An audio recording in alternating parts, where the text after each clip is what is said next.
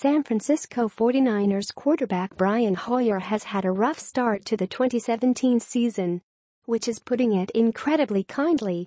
And yet, hope springs eternal, as Hoyer believes a 49ers offense that's been anemic, which is again, putting it incredibly kindly, is on the verge of turning a corner and putting it all together. You must either admire the optimism or cringe at the sheer delusion of it all. Two weeks ago, Hoyer and the 49ers teased us all with an offensive orgy that rolled up 39 points and 421 total yards of total offense, 308 passing, 113 rushing, against the Los Angeles Rams, the team sitting atop the division.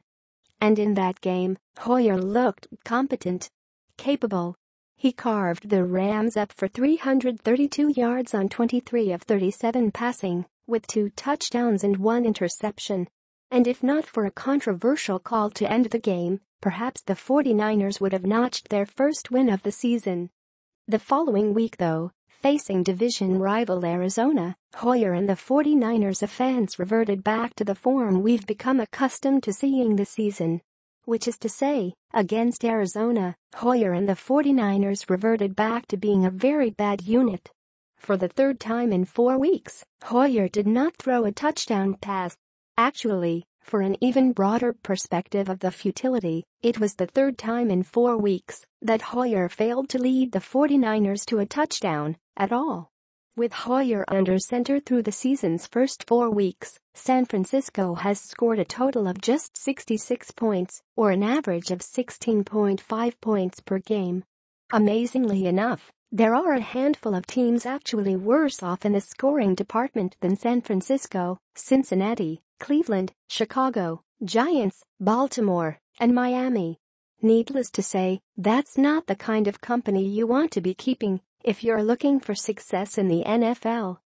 And yet despite the team's inability to find the end zone, Hoyer insists that they're super close to turning that corner, just a few plays away. In fact, in a recent interview, Hoyer had the following to say. It's encouraging because you can see that you're only a few plays away. But it's also tough to swallow because you know that you're that close. And we're not. We're 0 to 4. It's a results business. No one's going to care that we almost won that game or almost won this game. You only care if you win.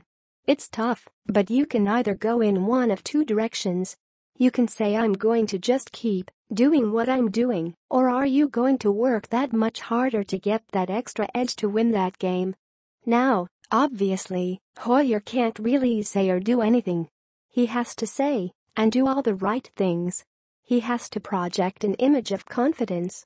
He has to put forth the image that better times are ahead for this team and that those better times aren't that far off. The trouble with that though is that the facts on the ground don't quite match the reality of what we're seeing on the field. And those facts are that San Francisco is averaging just 193 passing yards per game, 24th in the NFL. And as their unit, the 49ers offense is averaging just 298 yards per game, 25th in the league.